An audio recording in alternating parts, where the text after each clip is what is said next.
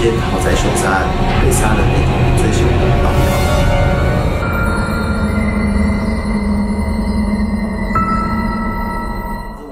我之前带大家看过被诅咒的影片，还有一些被禁播的音乐跟最诡异的电影。那我今天来带大家看的是呢，世界上最著名的三张灵异照片。为什么他们是世界上最著名的？因为他们背后都带有非常真实而且非常神秘的背景故事。大家记得点开电灯啊，然后还没有尿尿的先去尿尿。今天跟大家介绍的第三名就是这一张一九五九年在德克萨斯州 Cooper 家族的团体照。他们当时呢搬入了这个美国德克萨斯州的新家，顺手拍了这张团体照。你们觉得看起来很正常，对吧？两个女人配上两个小孩，但你们看到，我会把它拉远看，有没有看到左边？很明显有一个像人的东西是倒吊在天花板上。这张照片至今仍被大家广为流传。有教会的牧师说，这个亡灵是当地的地府灵，也有自称照片亲友的人出来说，这这些照片的人都已经死亡。等等，甚至还有摄影大师出来证实这张照片的真实性。因为你们可以看到这个蜡烛，它的影子其实在后面的。所以正常来说，这个桌子前端这块它是不会有影子的。但是这个倒吊的亡灵，它的确有它自己的影所以呢，这张照片至今仍然没有人可以破解，就被大家在一个一直猜想，然后非常神秘的色彩中继续保存到现在。为了讲求真实性，很多人就会起来去验证这个照片到底是真还是假。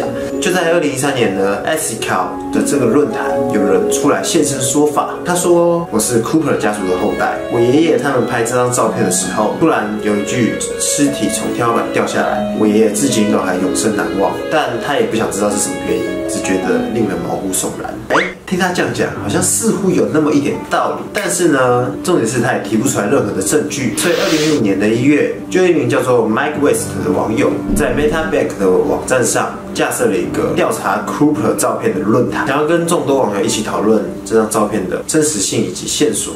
接着就非常有趣哦，就在同年的五月呢，有一名叫做 Raptor Cooper 的网友上来回复，他说：“我的哥哥有发了这个论坛的链接给我，我感到非常的沮丧难过。没错，我们就是照片中的这两个男孩。这张照片的确是在一九五九年拍摄的，但我的母亲有一个习惯，她会扔掉她觉得不喜欢的照片，因此我有很多类似的照片。我感觉不可思议的是，有人拿到了这一张我母亲扔掉的照片，还虚构了一场不存在的故事。最后，我们的姓氏 Cooper。不是 Cooper，我很好奇到底是谁恶意的这样子做。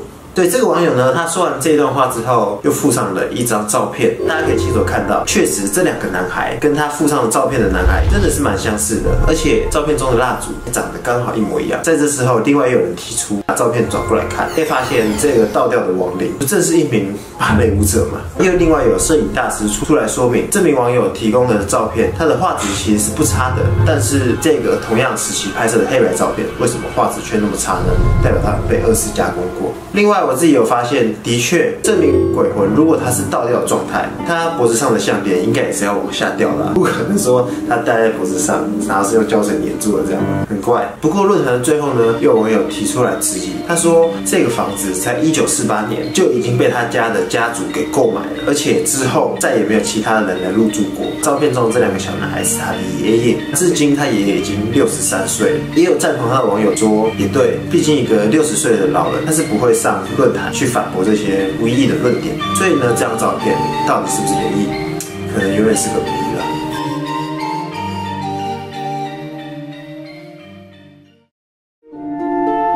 接着我们老师这一张照片，海洋大道一百一十二号住宅。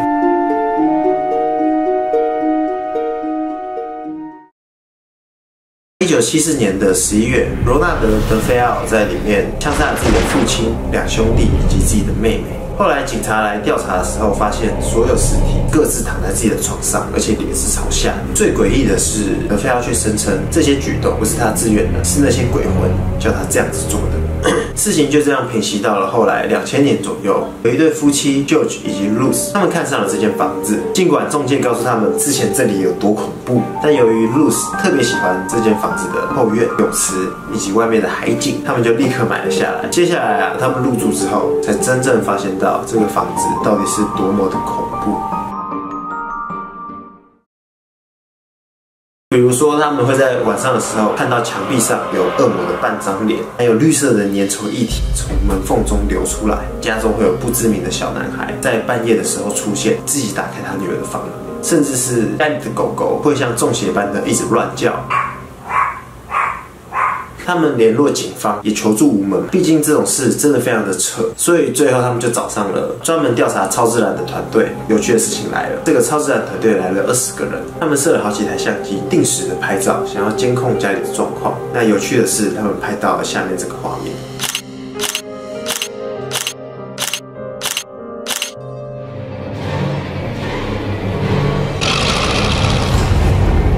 时候大家还在怀疑，哎，这个小孩是不是超自然团队中的其中一员呢？或者是家庭成员中的其中一员？没错，当天的确有一个小男孩叫做 Pro。不过大家可以比对一下，这个 Pro 跟照片中这个恐怖的小男孩，他们的衬衫的确是有点不一样。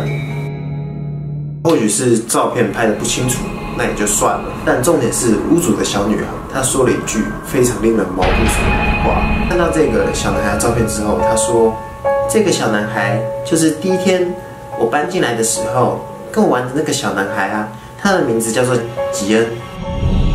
嗯，我们翻回以前的那个历史看，我们会发现吉恩就是一九七四年这间豪宅凶杀案被杀的那个最凶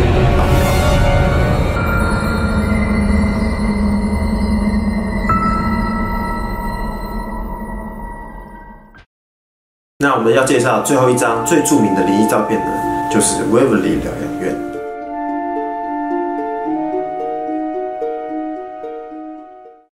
咳血过度拥挤，人手不足，不道德的扭曲疗法。Welcome to William Health Sanatorium。没错，这个就是致力于治疗肺结核 Waverly 疗养院的宗旨。它是当时全美。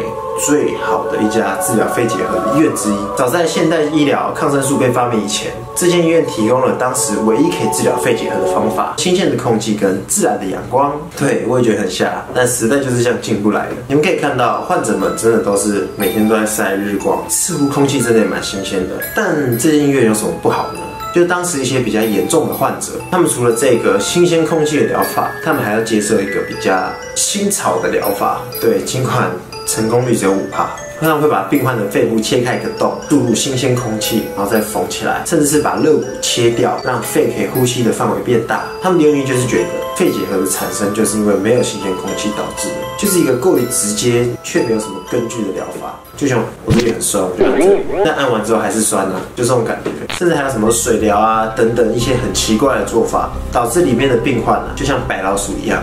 一一的被实验完之后过世了，而这些病患过世之后，他们是送去哪呢？有一条隧道，他们会把病患的尸体从隧道顶端，那往下滑到地底下，开车偷偷的载走，就是为了怕惊动其他的病患。所以啊，这间医院后来因为这些事情就倒闭了。日后呢，它也就变成一个非常知名的探险景点，也就吸引了很多喜欢探险的人去那边探险拍照。因为其中有一张最有名的灵异照片，就是这一张。五零二室的护士，这名护士在当时怀孕的状况，不巧的是，她也同时感染了肺结核，所以他入住在这个五零二室里面，跟大家一起享受日光浴跟新鲜阳光。嗯，但是毕竟他是护士嘛，他知道这样子不可能治好，所以他就在这个五零二室里面上吊自杀了。过世之后的状态非常的惨不忍睹之外，他肚子还是凸的，很多去探险的人也都亲眼目睹过这个肚子微凸的女子。